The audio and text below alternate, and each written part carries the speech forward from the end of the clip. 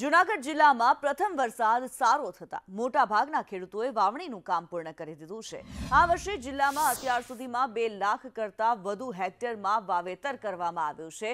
અંદાજિત પંચોતેર વિસ્તારમાં વાવેતરનું કામ પૂર્ણ થયું છે, જેમાં બે સાહીઠ લાખ વિસ્તારમાં વાવેતરનું કામ પૂર્ણ કરી દેવામાં આવ્યું છે, જેમાં એક લાખ પંચ્યાસી હજાર હેક્ટરમાં મગફળીનું મબલખ વાવેતર થયું છે. ઉપરાંત સોયાબીનનું સાડત્રીસ હજાર હેક્ટરમાં ખેડૂતોએ વાવેતર કર્યું. આ ઉપરાંત જો વાત કરવામાં આવે, શાકભાજી, તલ, અડદ જેવા અન્ય પાકનું પણ છવ્વીસ હેક્ટરમાં વાવણી કરવામાં આવી છે.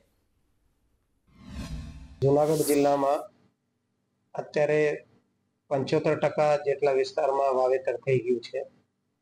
કુલ બે લાખ સાઠ હજાર હેક્ટર વિસ્તારમાં વાવેતર થયું છે. જેની અંદર એક લાખ પંચ્યાસી હજાર જેટલા હેક્ટરમાં મગફળી છે.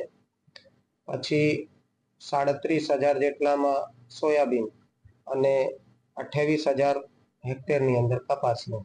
આ મુખ્ય પાકોનું વાવેતર થયું છે. અત્યારે સારો એવો વરસાદ પડ્યો છે. એટલે જેમ જેમ વરાપ નીકળતી જાય, તેમ વાવેતર ચાલુ છે. એટલે હવે આ વિસ્તાર વધશે.